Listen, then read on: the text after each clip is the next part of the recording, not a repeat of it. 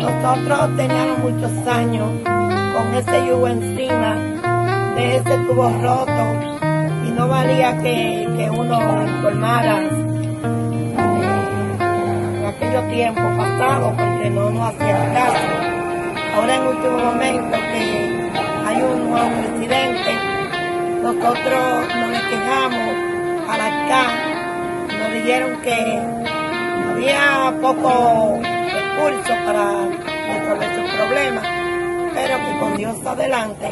iban a ver cómo trataban de ayudarnos. Y le damos las gracias a nuestro presidente Abinader